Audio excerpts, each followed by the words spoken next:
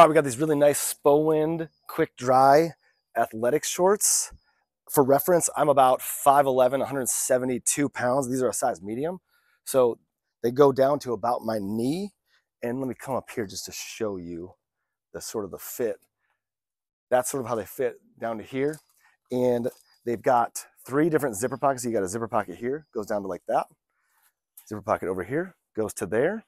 And then you've also got a zipper pocket back here that goes to about there. And then you've got, if you can see, there's a nice little vibe going on right here. These little holes that if you open it up, that's the color that it's showing on the inside there. It's also got that vibe over here as well, right there, as well as a nice little added touch of the, the logo right here.